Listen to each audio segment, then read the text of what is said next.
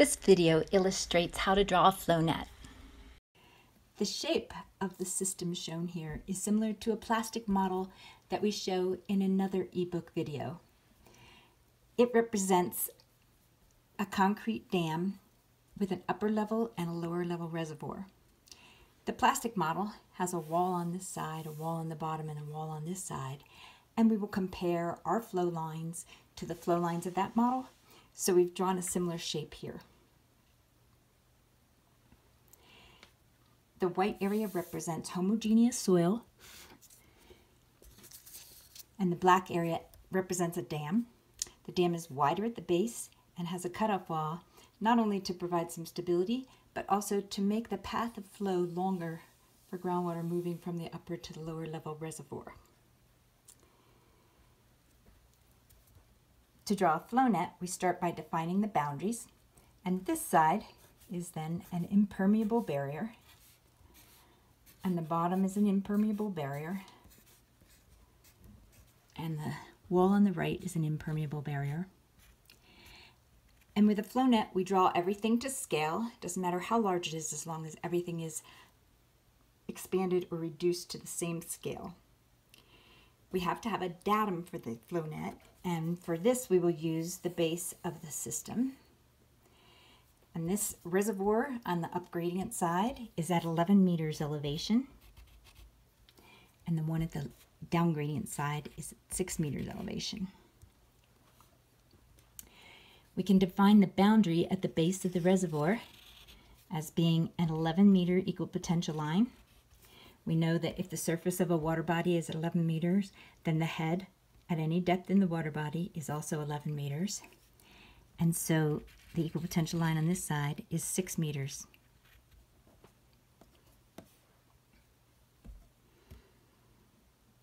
We know that there will be a drop of water that will theoretically follow the wall around the system and follow the inside wall of the dam around the system.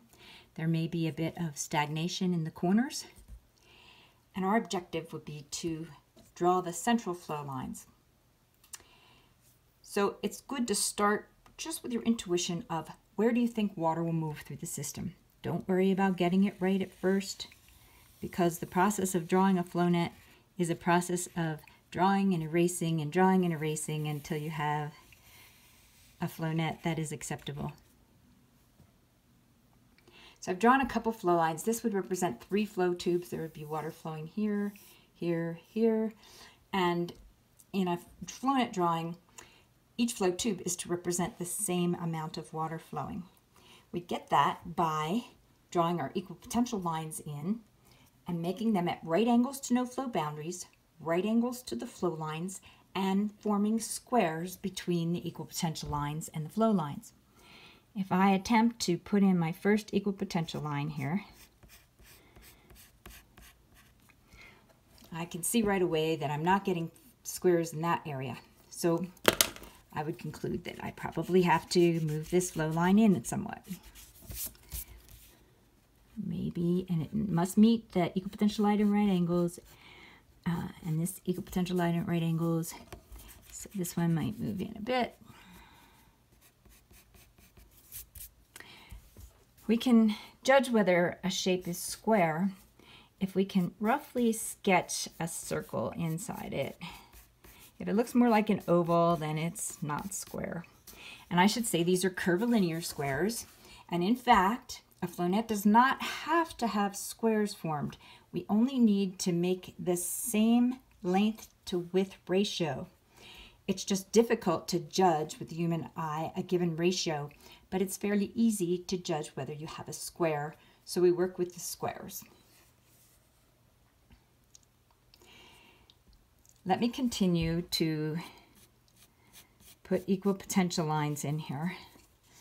And a lot of times, once you get the general idea of which way flow's going, it's not a bad idea to go ahead and put in some equal potential lines and not worry too much about how they look.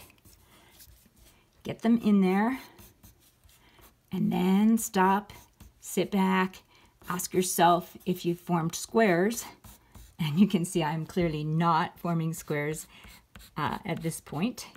Some of you will be better at drawing very quickly, the squares, but I like to make it so that you can see how it might look and how you might need to make adjustments. So clearly these shapes are very long in this way and in this flow tube they're very long in this way. So this flow line needs to move up in the system.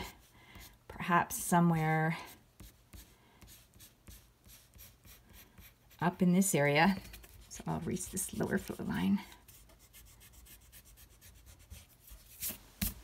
And this is oblong and this is tall, so maybe this flow line needs to move down.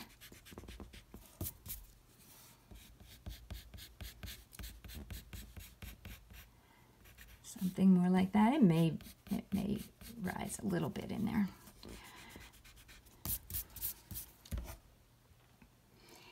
And then I might say we often get sort of a stagnation zone. And so we're looking at corners. We don't get squares quite as well. Although this all might move over just a little bit in here, including this one.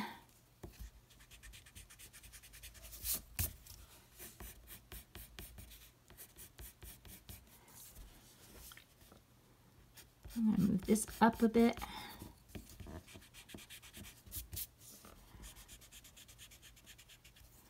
This up a bit. Remember, we're trying to always meet our no flow boundaries at right angles. We're trying to meet our flow lines at right angles. Now this is quite oblong. Let me um, add an extra equal potential line here that we didn't put in before. And in attempt to make these more square, I'm going to add something in here.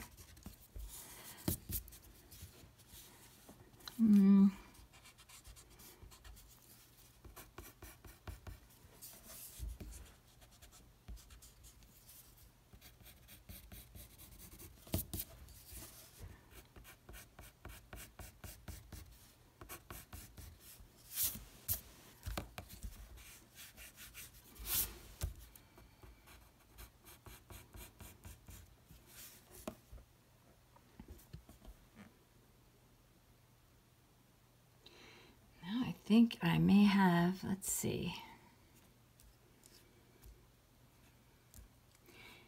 Just more flow, more equipotential lines than I need over here. Just bring this down considerably to try to make a square out of this. Sometimes my old lines may distract us.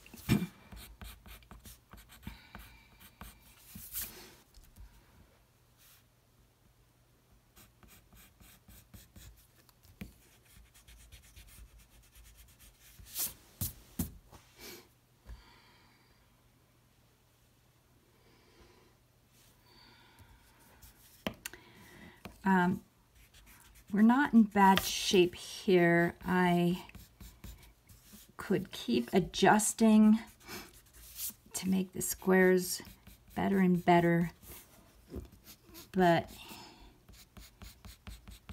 in order to reduce the time for us to be watching this video, I'm going to quit at this point. I think the important thing is to notice that would an additional equal potential line or one less equal potential line give us more square shapes? And I don't think that's the case. I think the case here at this point is that if we adjusted the lines a little bit, we might get a little bit more square in some places and a little bit less um, oblong in other places. The next step would be to label the equal potential lines. We know that we have 11 meters at this location and 6 meters at this location, so we have a total head drop across the system of 5 meters. And we have 1, 2, 3, 4, 5, 6, 7, 8, 9, 10, 11 head drops.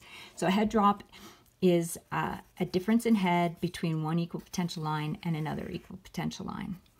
So with 11 head drops, if we have a 5 meter overall head drop, we divide by 11, so we get 0 0.4545 meters uh, between each one of the equal potential lines. So this first equal potential line would be labeled 10.55. And let me just skip and label every other equal potential line. So they're basically approximately 0.9 apart.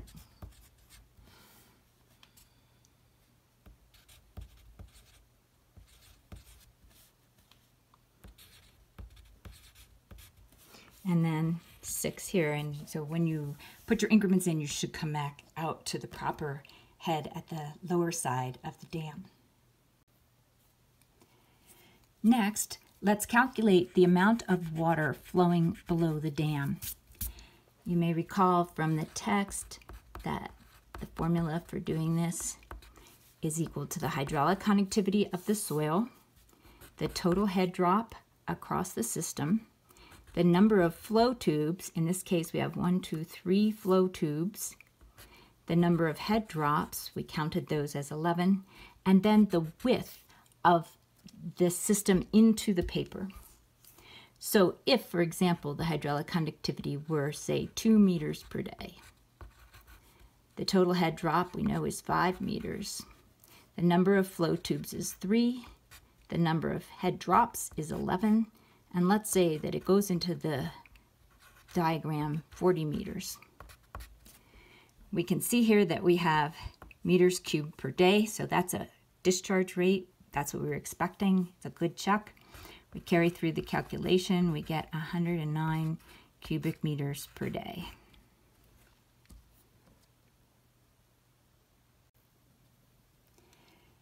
If we wanted to know the head at any location in the system, we could pick a point. Let's say we pick this point. We'd estimate that this is about one quarter of the way between these two equal potential lines. We know that the total head drop between equal potential lines is 4545 meters. Dividing by 4, we'll say that's about 0.1.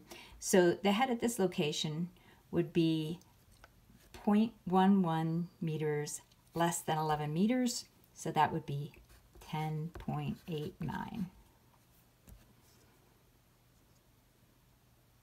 This is the system that we drew the flow net for. Notice the similarity of the lines indicated by the dye and the lines drawn in the flow net.